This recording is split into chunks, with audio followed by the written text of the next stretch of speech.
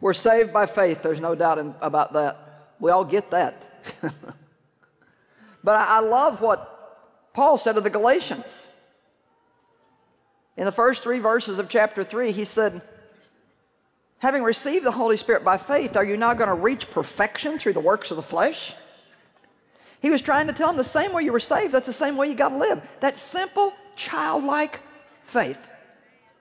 But see, as believers in Christ, we have another set of eyes. We've got the eyes of the heart.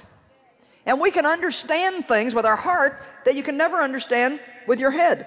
I'm particularly fond of this scripture in Hebrews 11:3 that says, "By faith we understand how the world was made."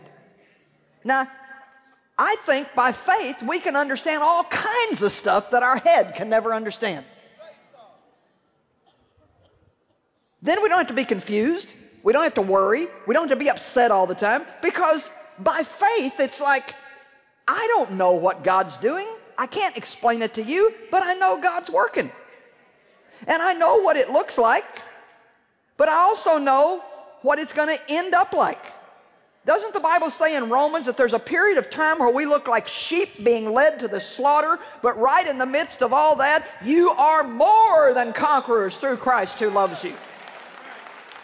And I don't have to explain to people why, if I'm trusting God, it hasn't happened yet. I don't know. God's got a timetable and He doesn't discuss it with me. All I know is I'm praying and saying and doing. I'm going to do my very best to do what I believe God's asking me to do, and whatever the results are is up to Him.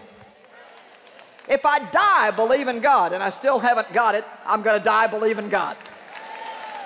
I wish that somebody tonight would get over this thing. Well, God, I'm going to give this one more week. Come on now. No, you need to make the commitment. I'm in for however long it takes, God. And even if I don't ever see anything, I'm in.